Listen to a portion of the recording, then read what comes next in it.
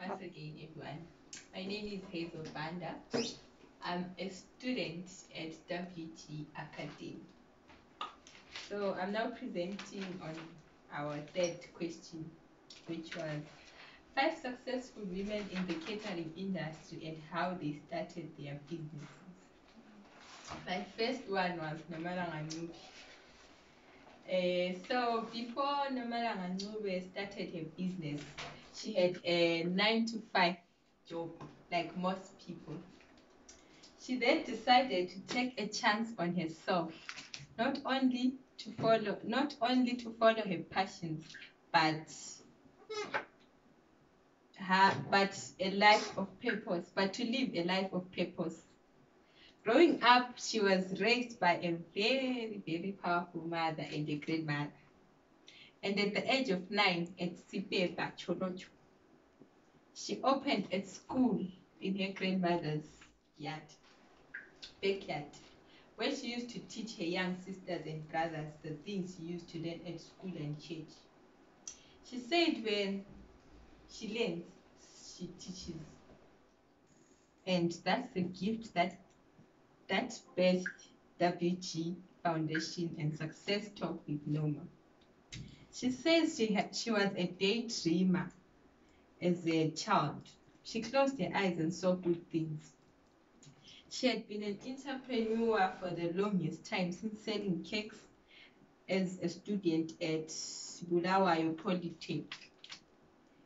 She had money lending and stationery company with her workmates at Zimbabwe School, School of Mines. In 2010, she opened a restaurant and a boutique that flooded, that folded a year later. Yeah, I'm done with Namala Mani.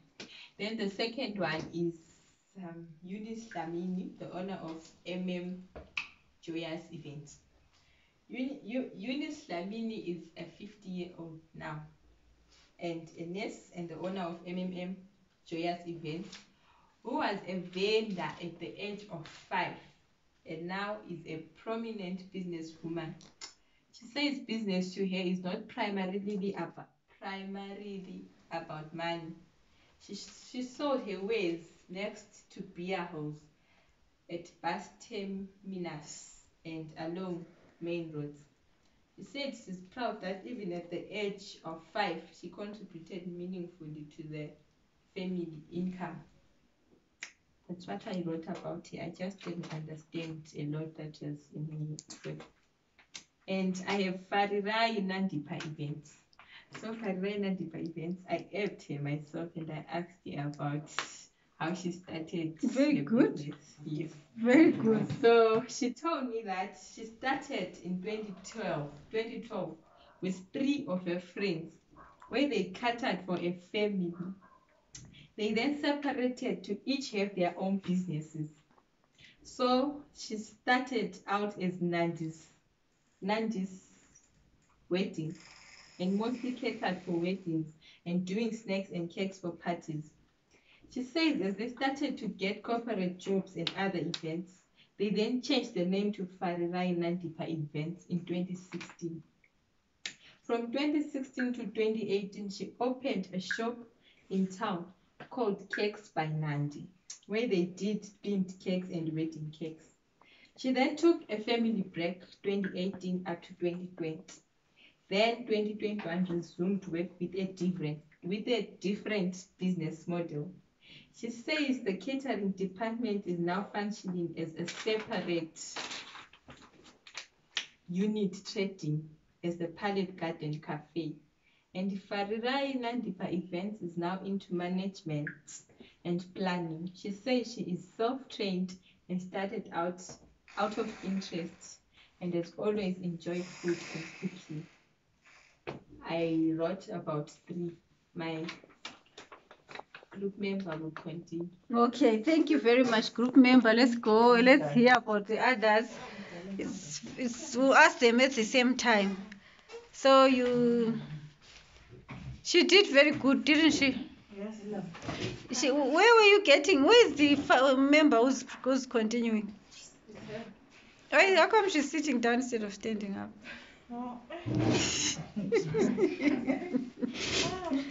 Go to that side. But that presentation was very good. Yeah. It was very good. So when we will ask you questions, uh, the next presenter now, introduce yourself. Uh, afternoon. My name is Crystal Masarele. I want to continue on question number three. But me, I didn't write uh, about. Just write what you wrote. Read what you wrote. Alright.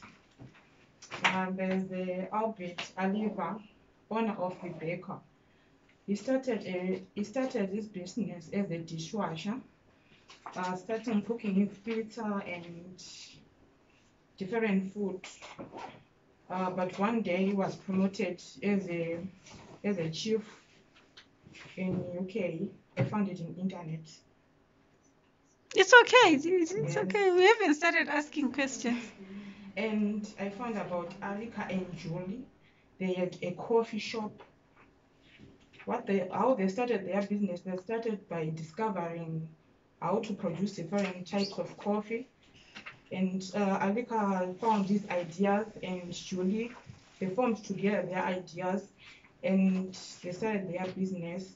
So they said it was a challenge but also interesting to the local community. That's how they started their business, a coffee business shop. Okay. Yes. Okay. So Hazel, join your partner. Then any questions, Mta? Let's start with the next with the, with the questions for for the for Hazel and Christopher. Um, Christopher, how come Christian says five successful women at the age of the age of Albert? Oh, this these are women. Albert. Albert. Albert. Even he. He, No, I there I made a mistake. But Arik and Julie. they are women. Eric and Jory. So you have to replace. Yes, those ones Yes, I hate I, like there I made a mistake. But Okay. Albert has short. Okay, Albert. So you need to you need to drop Albert. Mm, okay, ma'am. Uh, Bushle, your question. Has already been asked. You wanted to ask about Albert. Yes. Okay. okay, Dumazile, your question. You didn't want to ask about Albert. Ma'am, there is Yeah, work where there are no questions. They did their work well, there are no questions. No, there's nothing like that. Uh, Violet, what's your question? That's a lazy answer, Bushle. A lazy answer. I have no question, but I, I, I have a, a, a, a, a recommendation. Mm-hmm. Uh, they, they did very well. Yes. They did very well. I was actually impressed when she said she even approached one of the. Of the of Mandipa Oh, Lokuzele. oh, yes. That's very impressive, the auntie. background. Lami, that's what I thought. Yeah. Very impressive that she approached Mandipa. Yes. Ubum- Ubumbone ngaphi uMandipa? I googled Ehe. about her story, Ehe. but then I didn't see anything, and I saw her numbers. Then I had to. And she responded. She responded. Ah, that's very good. That's researching. And then also, I'm out of curiosity, how did you find information about Nomalanga Ncube? I also googled. You also Googled. Yes. Okay. And I got information. Yes, there was a lot of information, but then I took a bit of it. Okay, so you see, where did that information come from? It comes from your blogs. You write things and then they come out, they become live. So, but at the end of this course, I want to Google Dumazile Mlojo and see what will come out. Yes. Issue nxa nxa ungayenzi lutho ukuyapha nguphuma i-Facebook account yakho kuphela and your pictures. But anyway, thank you very much. You did very good. Go and replace that one. Okay. go and replace Albert, but also give us the names of their businesses, a catering business yakho ukuthi umuntu wangikhona uyenzani exactly. Just as an addition as you prepare your PowerPoint. Because your PowerPoint, once they are perfect, you shall be presenting them ume phambi kwe-TV laphana and there will be an audience of people you don't know. Thina lapha yikho silokhe silipolisha. Dum dum.